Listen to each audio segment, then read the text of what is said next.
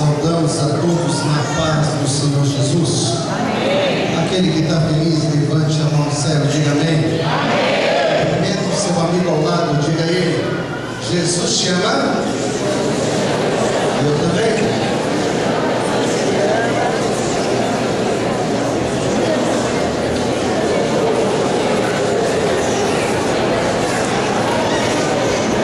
Dê um sorriso largo, igual levantinho assim para seu vizinho ao lado.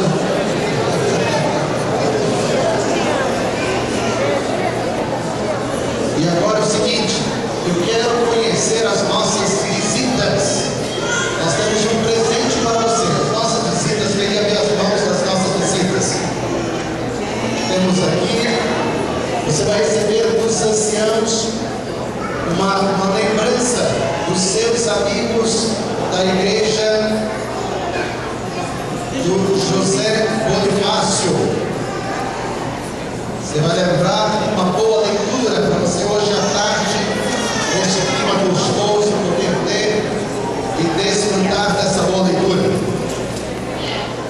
Eu gostaria de te convidar neste momento a curvar a sua fronte mais uma vez. Nós vamos levar os nossos pensamentos a Deus neste momento. Curva a sua fronte, feche seus olhos. Nós vamos falar com o Pai. Querido Deus, querido Pai, unja-nos neste momento com o teu óleo sagrado, cubra-nos com o teu manto, porque sem ti nada podemos fazer.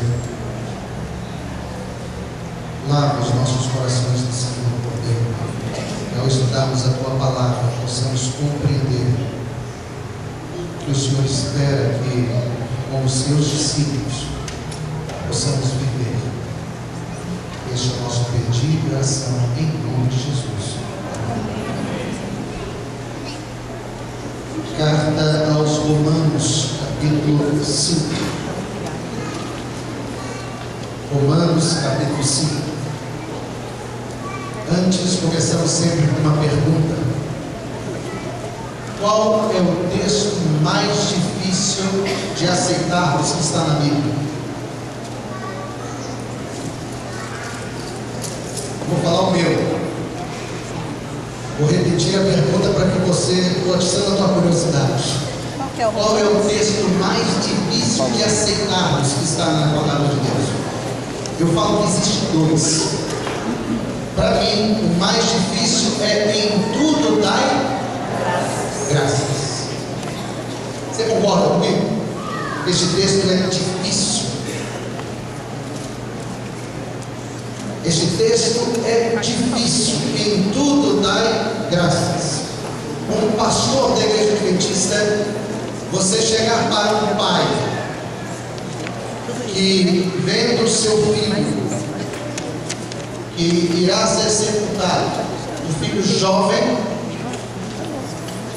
casado com dois bebezinhos pequenos, um filhinho, um filho mais velho de dois anos, um bebezinho de colo de um aninho,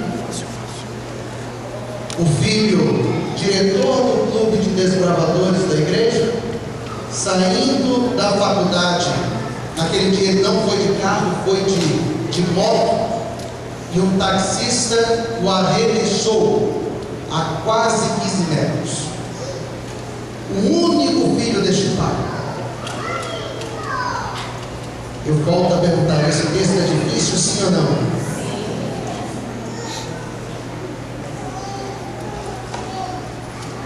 Ou para uma mãe que pega o seu filho nos braços o médico diz que o que ele tem não tem solução. Este texto é difícil, sim ou não?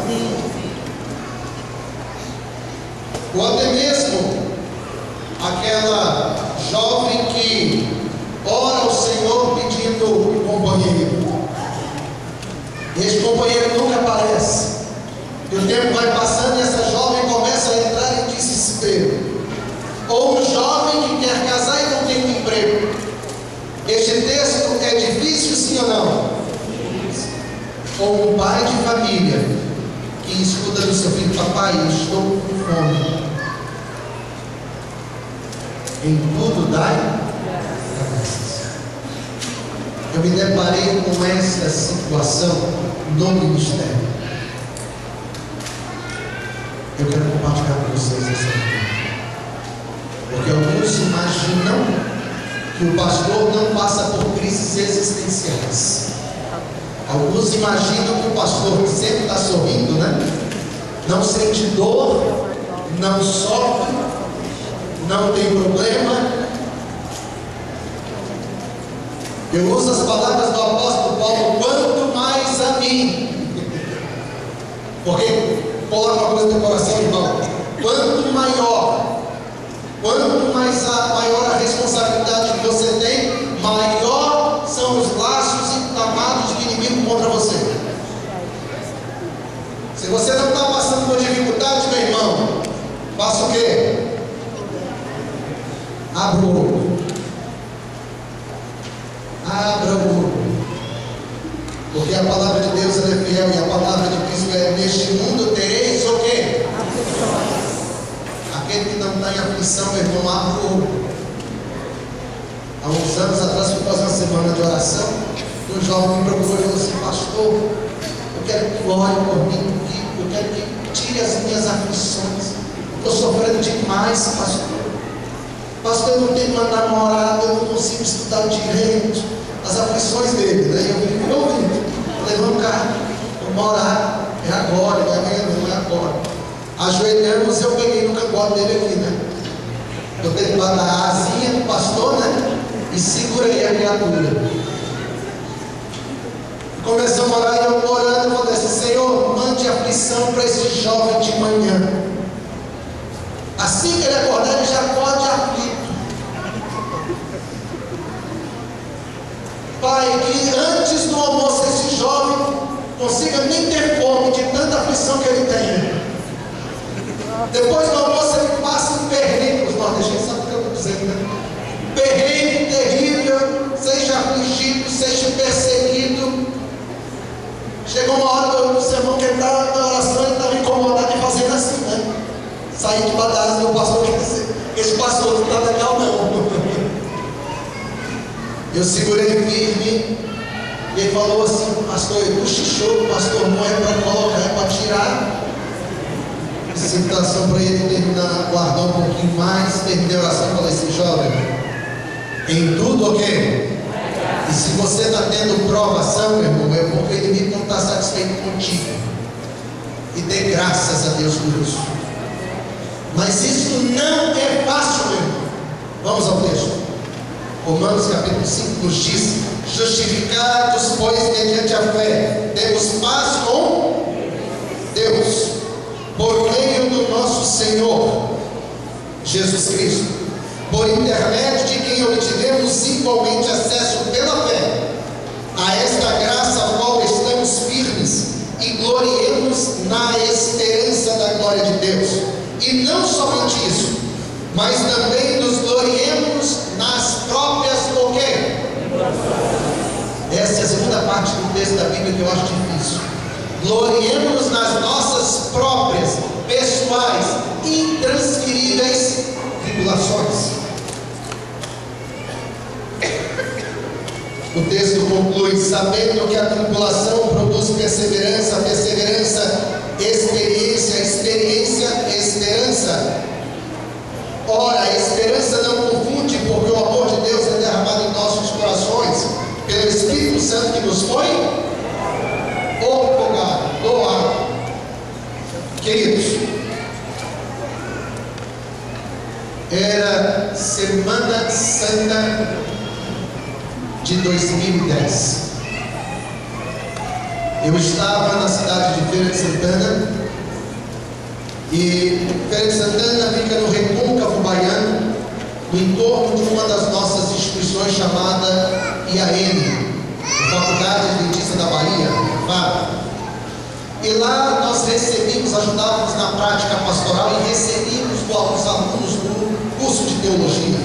Eu tinha 55 alunos que vinham para o distrito.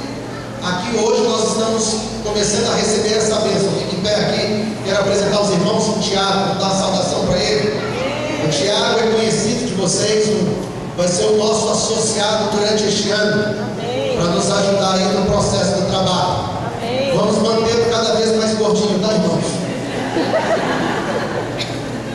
Ele diz assim, pastor, eu tenho que manter o porte.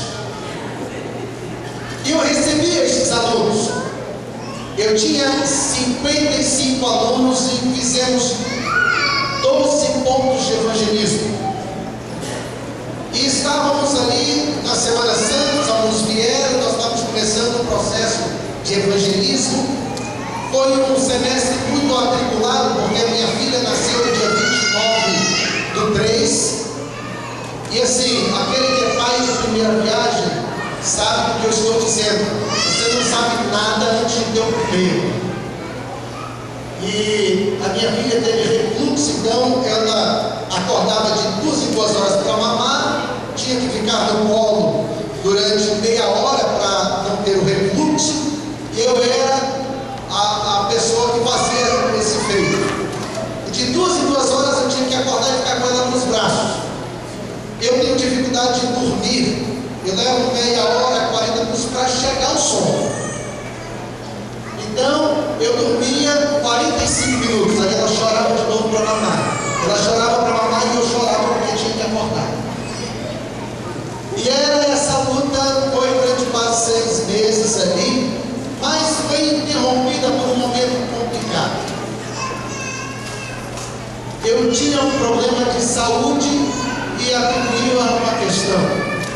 Eu sentia uma dor muito aguda, muito próximo ao estômago, achava que era estômago, foram três anos sofrendo com essa dor e achando que era estômago, tomava, nunca tinha ido ao médico, tomava remédio, mas era problema de Quem tem, teve dor de vesícula sabe o que eu estou dizendo. Ela está classificada entre as cinco piores dores que a pessoa pode ter. É quase uma dor no parto. É terrível. Você parece que tem uma faca sendo atravessada, mas é uma faca de serra, tá gente? E cega. Porque fica o tempo todo uma dor terrível que você não encontra posição para ficar. É horrível. Aquele que já sentiu essa dor sabe o que eu vou dizer. Só aquele que passa cima. Minha filha era recém-nascida. Eu sempre fui uma pessoa muito independente. Eu sofri três anos com essa dor, minha esposa nunca soube. A lágrima corria deitado no mesmo junto com a minha esposa, eu sentindo dor, ela nunca soube que eu tinha essa dor. Porque na minha criação militar, na minha criação aquela mineira lá do interior, que nem eu contei já algumas experiências, homem que é homem não mostra o quê? Fraqueza. E muitas das vezes eu deixava ela deitada ali e eu saía pela rua desesperado. Ia para o hospital, tomava soro, minha esposa com sono muito pesado, graças a Jesus. Ela criou uma resistência muito grande, porque o marido ronca muito. Então, para fazer muito barulho, ela vai acordar. Eu ia para o hospital, tomava soro, medicamento, voltava para casa, ela estava dormindo ainda. Três anos nessa odisseia. Naquele final de semana, nós recebemos em casa meu pai e minha mãe, saíram de Minas e foram visitar a neta. Naquela noite eu senti muita dor. Como tinha mais alguém em casa, deixei um bilhetinho na geladeira. Falei, eu vou rapidinho lá e volto antes deles acordarem. Fui para o hospital, tomei o soro, medicamento, voltei para casa. Quando eu cheguei, quem estava sentado na cozinha? O outro soldado da família que é meu pai. ele falou, o que, que você tem? Falei, pai, eu sinto uma dor assim, explicando, ele falou, é vesícula, vai no médico. Falei, isso é grave? Ele falou, não, eu já tirei a não se preocupe, é minha herança para você. E fui no médico, ele fez o exame e ele falou: Olha, uma notícia para você: você não tem pedra na vesícula. A sua vesícula é uma pedra. Ela está tomada, é por isso que você está tendo tantas crises ultimamente, está tomada. E ele falou: Olha, você tem que ir para a cirurgia esta semana. E nós estávamos começando os evangelismos. E aí eu falei, de jeito nenhum. Eu estou fazendo 12 pontos de evangelismo. Como é que eu vou sair agora, deixar os alunos ali e ir para uma cirurgia e não saber nem quando eu vou sair? Não. Vai falar, olha, eu estou a de risco. Eu minha conta de risco. Eu só posso daqui a 30 dias. Deu uma semana, era uma sexta-feira, eu acordei. Os meus olhos estavam amarelos, como uma flor de girassol. Eu levei um susto. Na mesma hora liguei para o médico e ele falou assim, olha, você está correndo risco de vida. Você precisa entrar no centro cirúrgico hoje. Porque as suas pedras migraram da vesícula para o pâncreas. Você já está com pancreatite. Seu pâncreas já está começando a rejeitar, porque não é para estar lá. Então agora você vai fazer uma cirurgia, você vai fazer duas. Tirar a vesícula e limpar o canal que leva a bíblia para o pâncreas. Venha agora. Senão você vai morrer. Aí o mineirinho ficou o quê? Sim, senhor. Liguei para a esposa, a esposa estava no colégio. Aí coloquei no carro esposa, filha, cachorrinha, sogra.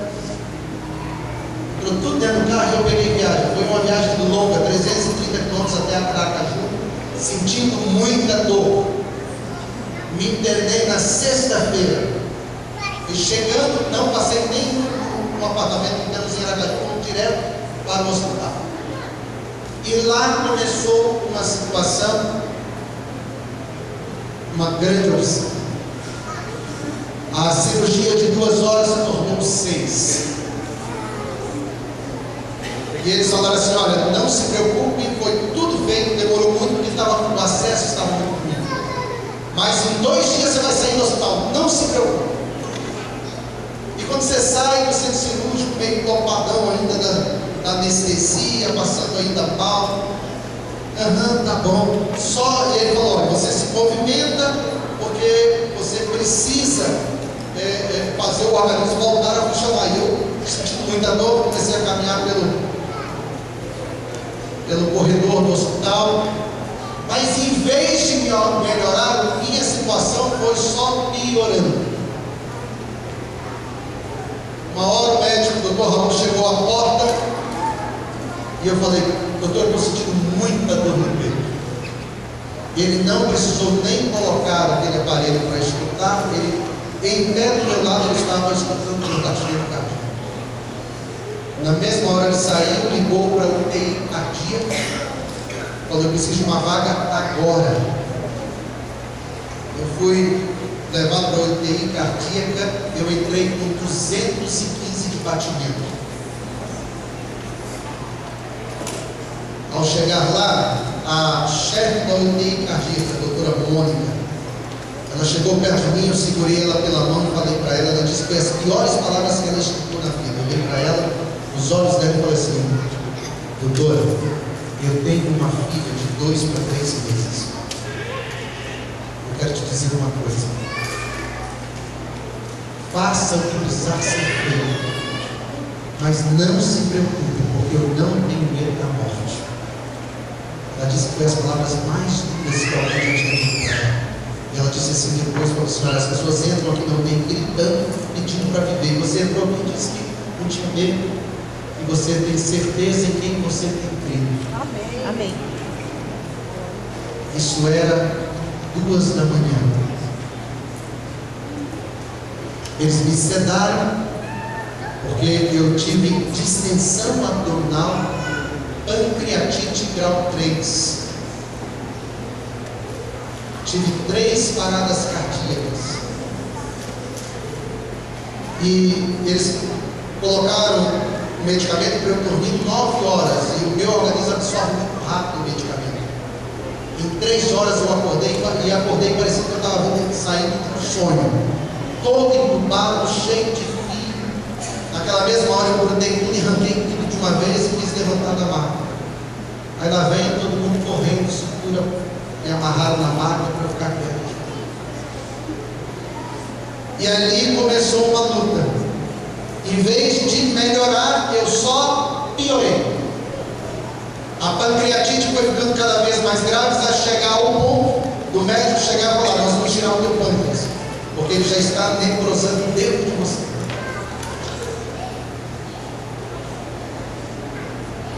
Tem momentos da vida da gente que a gente pede a morte. Eu sou facinho, facinho para pedir a morte. Eu briguei com Deus. Não sei se você já brigou com Deus. Às vezes você tem que brigar com Deus. E Deus conforta você mesmo você brigando com Deus. Porque você tem que conversar com Deus, queridos, como você conversa com seu pai, sua mãe. Às vezes você fica de bronca, chateado. Falei, Senhor, não estou entendendo. Em tudo da graça, você estava lá com um pastor fazendo seu trabalho, evangelizando. Lá está todo mundo fazendo evangelismo e eu aqui no hospital não aceito, não. E briguei com Deus, fiquei de mal de Deus. Não quero dar para o Senhor, não. E eu falei, Senhor, duas coisas. Ou me faça descansar logo, que eu não nasci para sofrer. Sentir dor não é para mim, não. Briguei com Deus. De mal. Mas logo, ter. Estou aqui de novo, Pai. Me ajuda. Situações terríveis. Eu, eles chegam lá e a gente bota aquela camisolinha meio. Parece que eles têm que economizar pano. Camisola é só a parte da frente, deixa o movimento norte meio congelando. Está rindo, né? No meu caso, que não poderia me levantar mais, eu estava com. Eles me botaram fraldão. Comece a imaginar, não tem um pastor de fralda. Pensa não que você vai nem dormir, você dorme hoje. E é uma cena terrível. O pior é o banho. Lá vem os enfermeiros carinhosos te dar banho. Eles vêm com a esponjinha e começam a te rolar na máquina, parecendo que está lavando um frango. Não tem nada agora, né? E é uma escova daquela de lavar roupa. É bem lavado mesmo. E te esfrega todinho, você sai vermelho. É humilhante, meu irmão. Ele vai ficar doente não. Eu sentia dor, eu sentia, eu não, não conseguia dormir por causa dos medicamentos. Eram nove medicamentos que fica contando a, as gotinhas, eram nove medicamentos constantes do meu acesso, que era direto na, na venosa. Foram 11 dias descendo a ladeira. O pior dia foi no dia da endoscopia. Eles me sentaram e eu tenho dificuldade com sedativo. Eu não apaguei. Eu fiquei ali, sentado. A médica não entendeu, mandou sedar de novo. Aí eu apaguei, mas não deitei. Quando a enfermeira chegou de forma carinhosa para me deitar, eu empurrei, joguei ela na parede. Isso topado, fechado. Eu não lembro. Eu, eu fiquei sabendo que me contaram, eu cerrei os punhos. Aí vem lá os enfermeiros que gostam da banho menino. Eu acordei contigo, amarrado na maca, e eu estava com a boca cheia de pedaços de dente.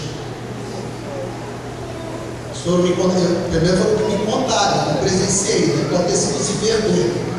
Mas na hora que botaram o bocal de endoscopia, eu travei. E eu comecei a quebrar os dentes do bocal de endoscopia. A médica começou a ouvir os estalos e não sabia o que era. Eram os dentes se quebrando. Tive que fazer implante de alguns dentes por causa disso. Acompanhando isso, eu fiquei esses 11 dias sem poder beber água. Enfermeiros chegavam com uma esponjazinha cheia de água, colocava na minha boca para deixar Aí, com 11 dias sem poder beber água. Entrava dois acessos, um alimentava lá direto no intestino, um tirava líquido do, do estômago. Fora nove medicamentos constantemente sendo ministrados. No total, irmãos, foram 3.712 medicações. No tempo que eu passei. Nessa última noite, eu clamei ao Senhor e falei: Senhor, a ti entrego meu espírito, porque eu não aguento mais.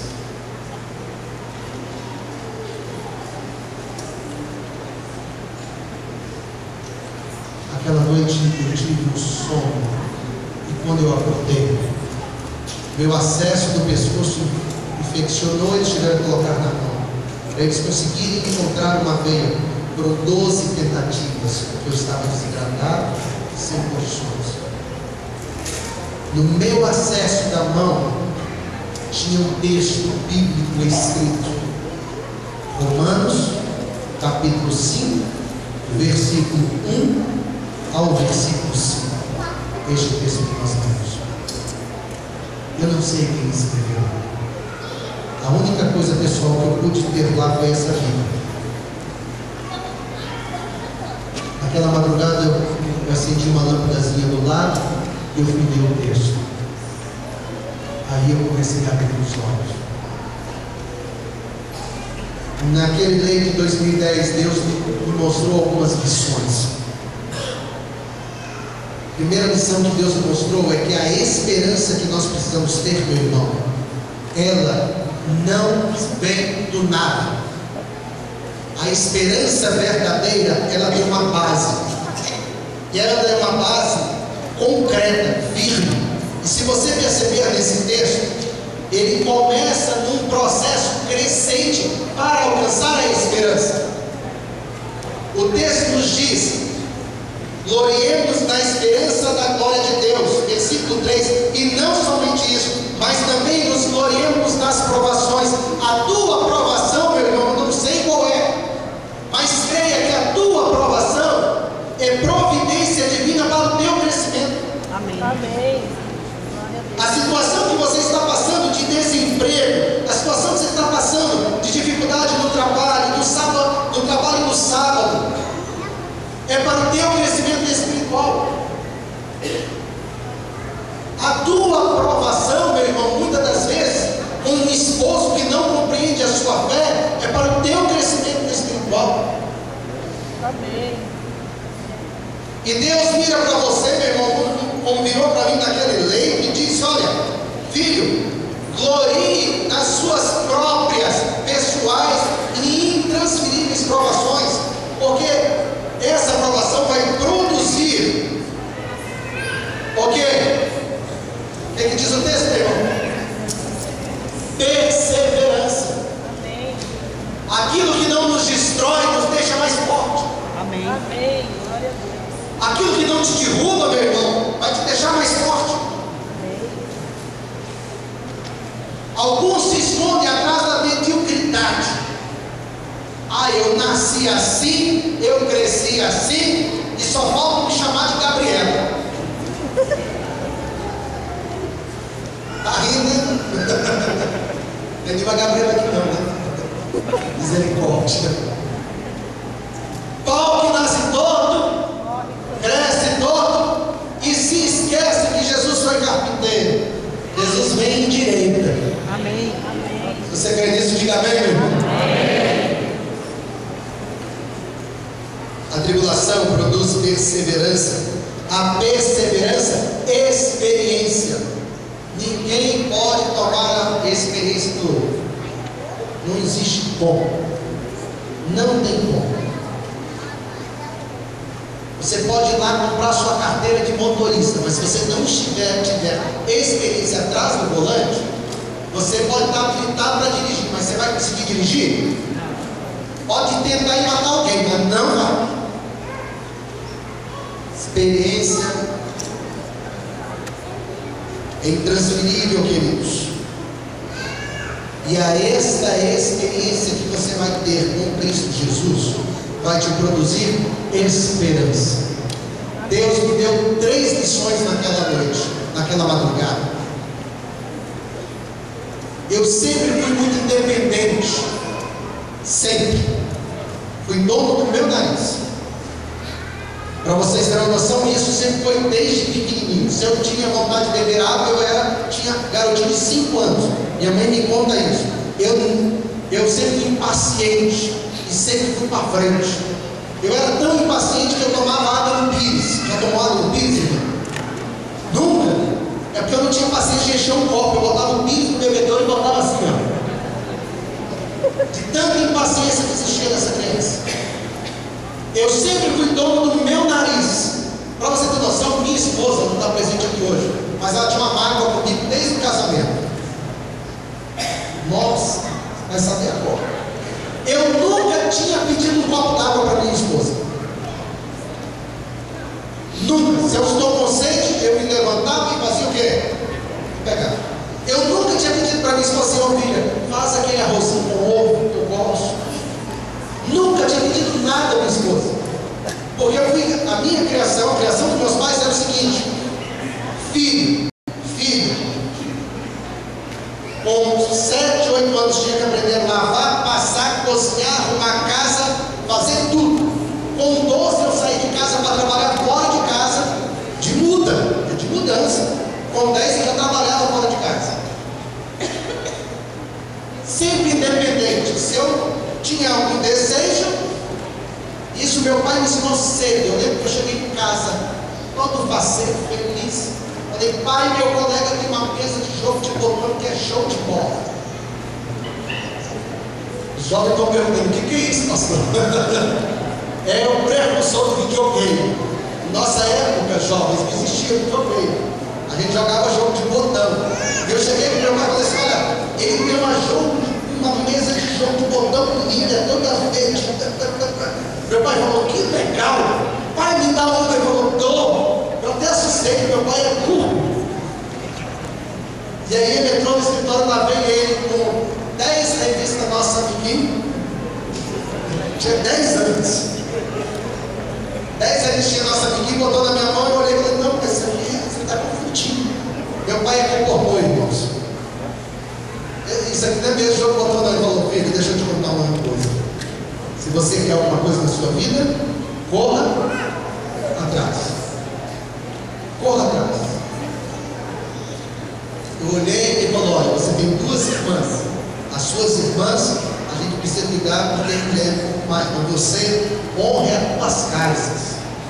Vá trabalhar. Eu tinha 10 anos.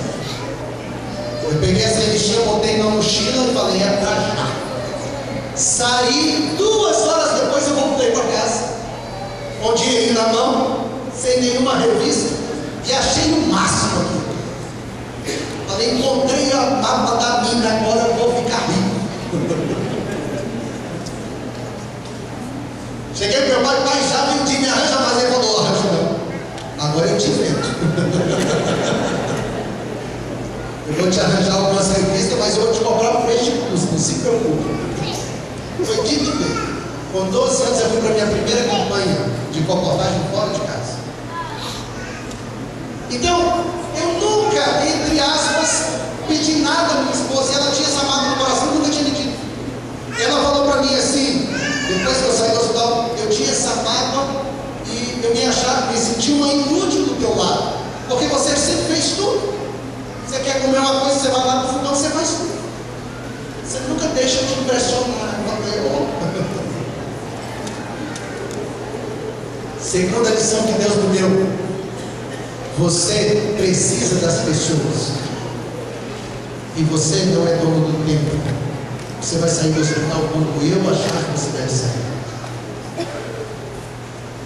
Você vai sair quando eu achar que você deve sair. Terceira lição, você pertence a Deus. Você não pertence a você. Isaías 43, 1 nos diz, queridos. Mas agora sim diz o Senhor que te criou. Não temas, eu te remi, chamei, chamei-te por teu nome. Tu és meu. Meu irmão, você não pertence a você, você pertence a quem? Da mesma forma que o povo de Israel pertencia a Deus, você pertence a Deus, mas você tem uma escolha de falar: Senhor, eu aceito, Senhor, eu não aceito. O povo de Israel não aceita. Mas você tem o direito de escolha.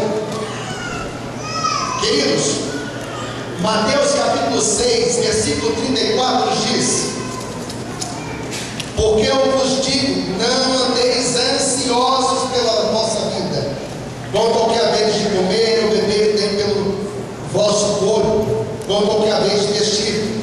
Não é a vida mais do que o alimento, e o corpo mais do que as vestes? Mateus capítulo 6, versículo 25. O mal do presente século, ansiedade. As pessoas vivem ansiosas. Eu estava ansioso de sair do hospital. Eu queria mais aquela situação. Deus falou, filho, você me pertence. Filho, te acalma. No momento certo você vai sair. Naquela, naquela manhã, queridos, eu me acalmei no coração e falei assim, não, tá ok. Você acha que eu devo ficar aqui na UTI durante seis meses? Eu vou ficar. Se for durante um ano, tinha pessoas na UTI cardíaca que estavam um ano ali dentro. Eu vou ficar. Eu acalmei meu coração, eu depositei nas mãos de Deus as minhas preocupações e ansiedades. Talvez falte isso na tua vida, meu irmão. Colocar nas mãos de Deus pode ser qualquer ansiedade. Você vê uma criança dessa, uma jovem, né? Jovem criança dessa, você imagina isso aqui não tem preocupação, não tem. A minha filha de seis anos chegou um dia chorando, papai. Olha o que aconteceu com o meu desenho. Eu fui pintar, rasgou a folha, papai. É o sofrimento dela. Já tem que respeitar o sofrimento dela. Eu falo, ô filho, o que o papai vai fazer com você. Vou te dar uma folha em branco. Você vai poder pintar de novo esse desenho lindo. Aí ela começou a sorrir. Mas é a preocupação dela. A tua é diferente, meu irmão. Mas deposite nas mãos de quem? Deus. De quem, meu irmão? Deus. De Deus. E quando eu me depositei nas mãos do Senhor, eu falei, tá certo, Senhor. Quer que eu fique aqui dentro de fraldão, tomando banho de, de, de escova? Eu vou ficar. Tá bom. Por mais sete dias, resolveu a situação. Aquele dia o médico chegou e falou assim, ó, os seus leucócitos estão aumentando, está melhorando. Os meus, os meus leucócitos quase extinguiram.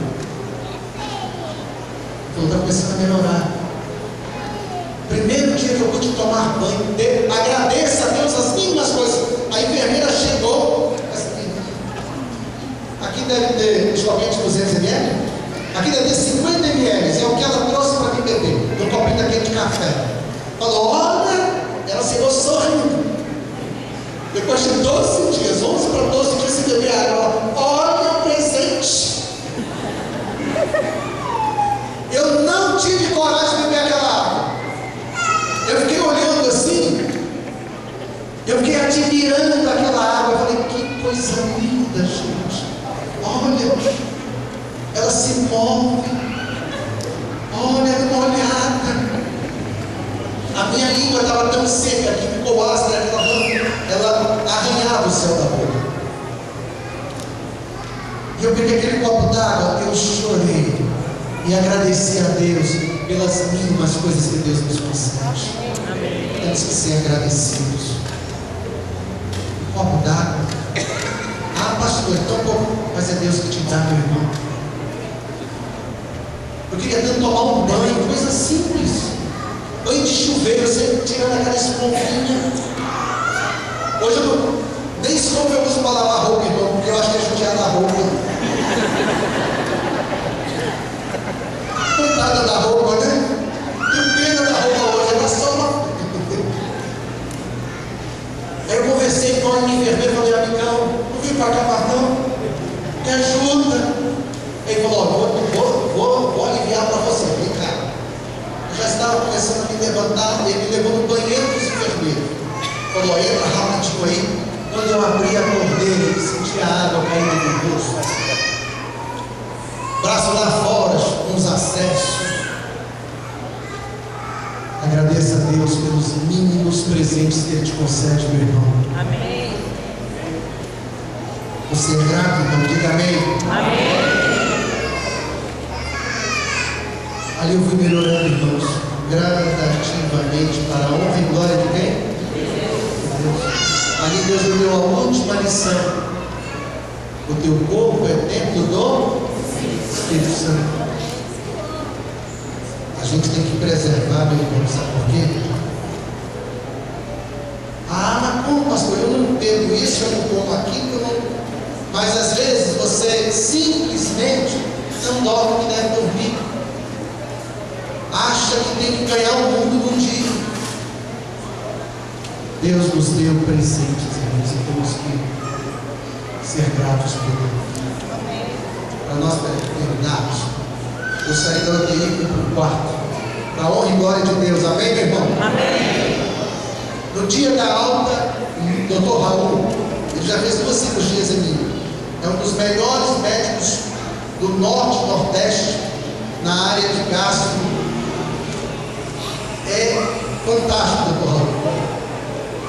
Ateu, até a raiz do cabelo. Ateu. E sempre a gente, pastor é aquele, aquela sarna, né? Quanta oportunidade ele vai lá, bota com você em alguém.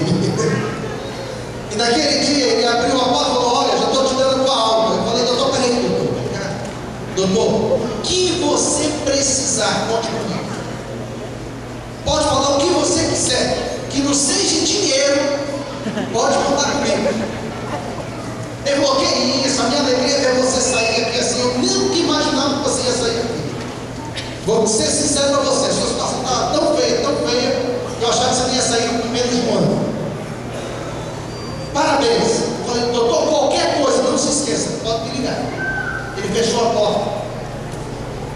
Dez segundos depois ele abriu a porta de novo. Olhou para mim no fundo dos meus olhos e falou assim, eu quero uma coisa só sua. Eu falei, diga, doutor, que você e o teu povo orem por mim. Amém. Amém. Porque o que aconteceu aqui eu não tenho explicação. Amém. A igreja diz o quê? Amém. Deus é tremendo, meu irmão. Amém. Estarmos hoje prova do amor de Deus. Amém. Seja grato pelas mínimas coisas. Queridos, Mateus capítulo 6, versículo 33 nos diz: Busque em primeiro lugar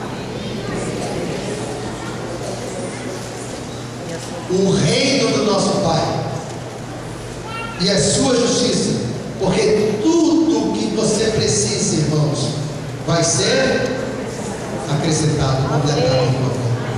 Amém. Nosso tempo já está avançado. Você crê nisso, meu irmão? Amém. Tem essa certeza no teu coração, meu irmão?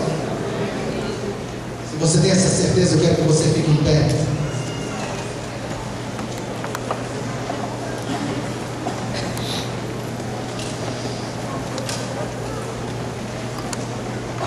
Coloca uma coisa no teu coração, meu irmão. Eu tenho certeza que você vai estar passando por provação.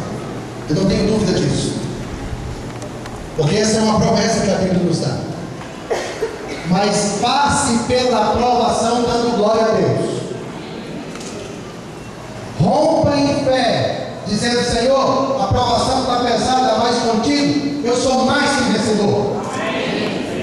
Coloque a sua vida, seus temores, suas apreensões nas mãos de Cristo Jesus. E querido, não se preocupe, porque Deus vai completar a obra da tua vida. Curve a sua fronte, irmãos e irmãs. Amado Pai, querido Deus, agradecidos estamos, porque o Senhor completa o imperfeito que há na vida de cada um de nós. O Senhor supre as nossas necessidades. E agradecidos estamos pelos mínimos presentes que o Senhor nos concede, pelo ar que respiramos, pela água que hidrata o nosso corpo, que refrigera e nos lava e nos limpa. Agradecidos estamos pelo alimento que o Senhor nos concede em nossos lares. Agradecidos estamos pelo sorriso estampado no rosto dos nossos filhos, pela alegria de estar em família. Agradecidos estamos por esta igreja, de podermos aqui louvar, agradecer o teu santo nome, livres, libertos do jugo do pecado, e nos depositamos diante do teu altar, ó Pai, as nossas apreensões, as nossas lutas, e saímos daqui lavados pelo sangue do Cordeiro. Ao voltarmos para os nossos lares, Senhor, possamos ter a certeza da salvação no teu nome. Derrama teu Espírito sobre nós, é o nosso clamor, em nome de Jesus. Amém, Senhor. Amém. Abraça o seu irmão ao lado, diga a ele: Você é mais que um vencedor em Cristo Jesus.